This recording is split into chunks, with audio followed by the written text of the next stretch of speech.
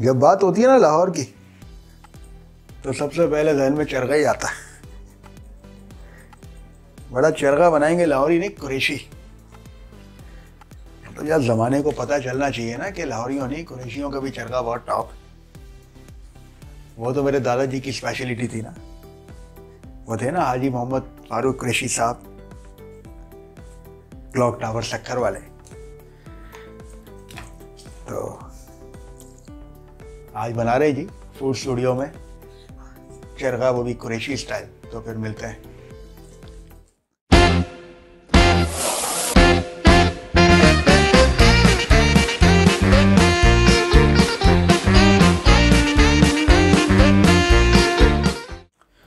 सबसे पहले लगाते हैं गरम मसालों की कुटाई। साबित गरम मसाले हैं मेरे पास, जिसमें पिपली है लॉन्ग पेपर, इसके साथ सिनेमन स्टिक है, दो दालचीनी ब्लैक कार्डमन दो काली इलायची ग्रीन कार्डमन हरी इलायची, तीन से चार क्लोव है लॉन्ग फाइव टू सेवन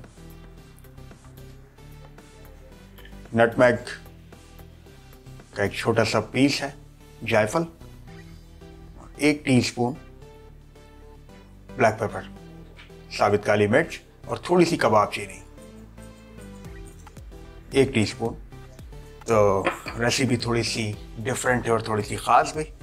दादाजी की याद में, ये रेसिपी सिर्फ़ मोहब्बत में आप लोगों के लिए अगर ये रेसिपी मैं बेचने पर रहा हूँ ना तो किसी के दादाजी भी नहीं ले सकते। इतनी महँगी रेसिपी है। इन मसालों को ले आएँगे। इमाम साहब है मेरे पास, वो भी दस्ते के साथ। इस इमाम दस्ते में। इसको ब्रेक कर लेंगे थोड़ा थोड़ा ताकि इन्हें इजीली कूटा जा सके। इनकी कुटाई लगाना शुरू कर देंगे।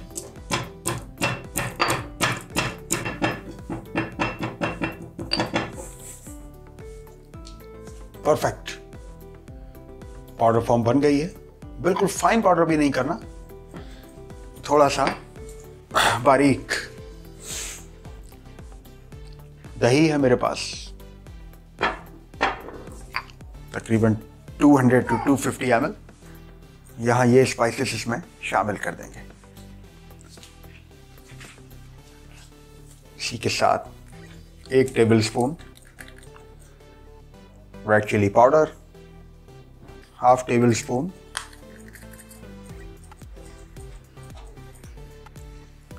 हल्दी पाउडर जीरा है पाउडर वन टीस्पून जीरा पाउडर ऐड करेंगे। उसी के साथ नमक। हसबे ज़रूरत जिंजर गार्लिक पेस्ट है two to three tablespoon यहाँ इसमें शामिल कर देंगे उसी के साथ वाइट विनेगर है सिरका क्वार्टर कप इसमें ऐड कर देंगे वायर वेस्ट से इसको बीट करेंगे बिल्कुल लास्ट में फ़ूड कलर है टू टू थ्री पिंच थोड़े से पानी के साथ इसे अच्छे से डाइल्यूट करेंगे और यहाँ इसमें ऐड कर देंगे। इसे करेंगे अच्छे से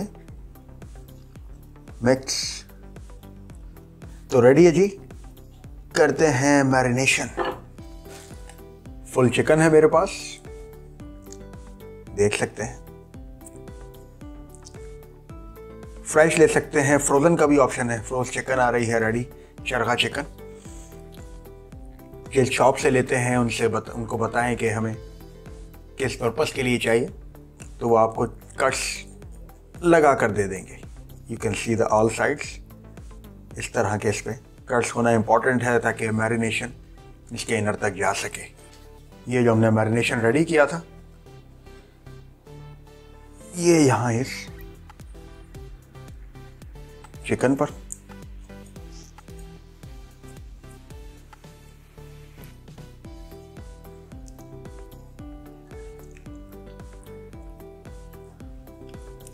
थोड़े से फिंगर से इस तरह।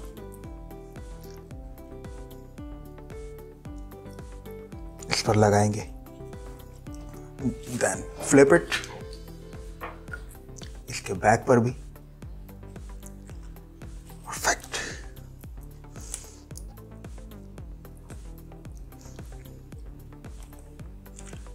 मेरे दादा ने एटीज में चरगे को डेवलप किया था। और उनके चरगे की बहुत हाइप थी। पूरे इंटीरियर सिंध इवन के सखर के सराउंडिंग में जो विलेज है, वहाँ से लोग आते थे स्पेशली उस चरखे को खाने।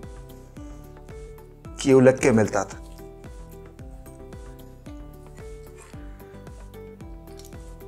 बट फिर हुआ ये कि वो कंसिस्टेंसी नहीं रही, हाजी साहब की एब्सेंस में। उस सिस्टम को कोई लुक आफ्टर करने वाला था नहीं। एट दी एंड ये हुआ कि 2010 और 11 में उसके ऑपरेशन क्लोज हो गए। बट रेसिपी तो है ना? आप इसका लुक देख सकते हैं। इक्वली कवर है मैरिनेशन से from the all side dry हो जाएगा। क्लिंग रैप से करेंगे कवर इसे रखेंगे रेफ्रिजरेटर में सिक्स टू सेवन आवर्स के लिए। और फिर करेंगे इसे फाइनल तो फिर मिलते हैं। घंटाट मैरिनेशन हो गई है डन नाउ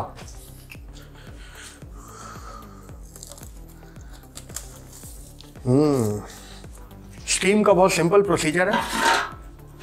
पतीले में लिया है पानी।